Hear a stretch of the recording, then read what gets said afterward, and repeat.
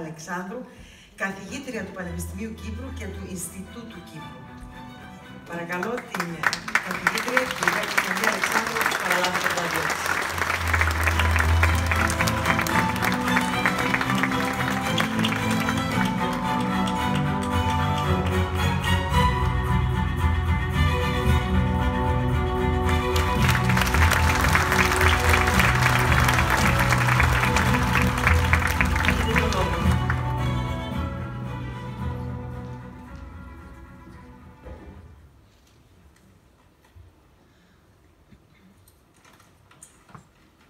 Όταν ανάλαβα καθήκοντα το 1993 στο Πανεπιστήμιο Κύπρου, το Ίδρυμα Πρόθεση Έρευνας, όπως ακούσατε, δεν υπήρχε.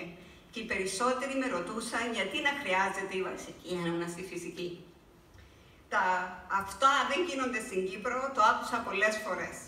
Να όμως που αποδεικνύονται ότι γίνεται. Γιατί σήμερα βρίσκομαι εδώ και το Ίδρυμα Πρόθεση Έρευνας μου απονέμει βραβείο σε βασική έρευνα, αποδεικνύοντας την τεράστια πρόοδο που έχει επιτευχθεί από την ίδρυσή του το 1996, όπως ακούσαμε.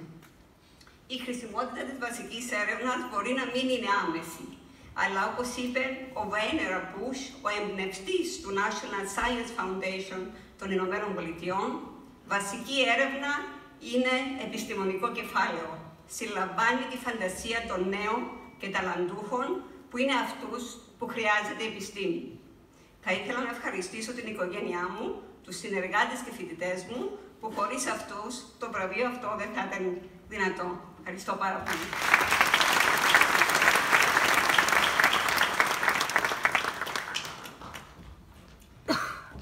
Το βραβείο έρευνας στην κατηγορία του νέου ερευνητή για το